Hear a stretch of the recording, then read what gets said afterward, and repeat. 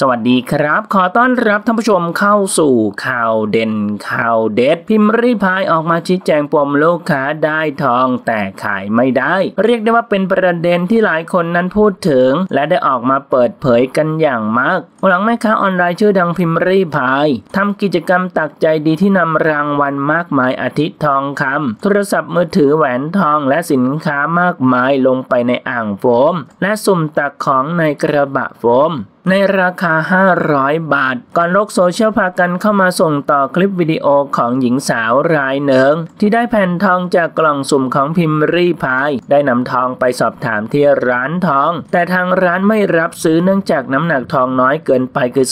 0.1 ต้องน้ำหนัก 0.3 ขึ้นไปจึงจะรับซื้อทำให้ชาวโซเชียลเข้ามาเถียงต่อว่าพิมรี่พายกันอย่างสนาน ก่อนจะพบว่าเจ้าของคลิประบุข้อความคอมเมนต์ว่า ทุกคนคะเราเฟกล่องตักมากล่องละ 500 ของอยู่ในกล่องเราว่าคุ้มอยู่นะคะ ลองย้อนกลับไปดูคลิปตอนเปิดกล่องได้นะคะ ของที่ได้มาไม่รวมทอง 800 กว่าบาทส่วนตัวเราว่าคุ้ม ล่าสุดพิมพ์รีพายออกมาชี้แจงว่าทำแคมเปญแบบนี้แล้วขาดทุน นั่งขายของมีกำไรมากกว่ายืนตักอีก สัญญาแล้วว่าของที่ได้ราคาเกิน 500 บาทแน่นอน ตอนซื้อหวยไม่ถูกไม่เห็นจะว่าเลย เรื่องได้ทองเล็กก็บอกแล้วว่าเป็นรางวัลเล็ก บางคนได้รางวัลเล็กก็โวยวาย บางคนไม่ได้ของรางวัลก็โวยวาย บอกไปแล้วว่าก่อนโอนเงินต้องรับกติกาให้ได้นะ ถ้ารับไม่ได้อย่าโอนเงิน คนที่ได้ทองก็ดีใจส่งใจมาให้ ส่วนคนที่ไม่ได้ทองก็มีประเด็นโกร